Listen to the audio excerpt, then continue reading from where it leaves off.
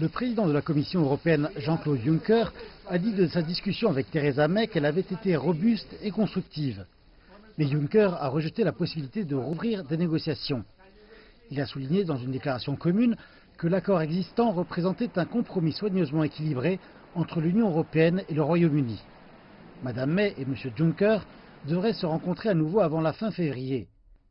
Selon un sondage de Sky News, il y aurait un fort soutien en Irlande pour que le gouvernement britannique tienne bon pour garantir qu'il n'y aura pas de frontières dures, même s'il risquait un scénario de sortie sans accord.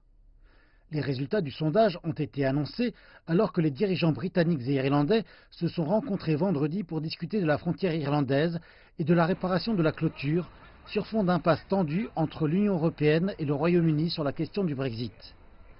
Le sondage fait apparaître que 79% des personnes interrogées préféreraient que le Royaume-Uni tienne bon sur le backstop, c'est-à-dire le maintien de l'Irlande du Nord dans le marché unique, afin d'éviter de mettre en danger la paix dans cette partie du Royaume-Uni, et 7% des personnes interrogées pensent qu'il faut éviter en priorité une sortie sans accord.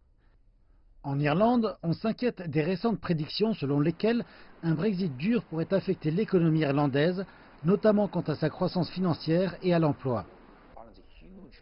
L'Irlande est une économie extrêmement ouverte, bien plus ouverte que le Royaume-Uni. Le potentiel de perturbation est très grand. Nous pourrions connaître une profonde récession s'il n'y avait pas d'accord.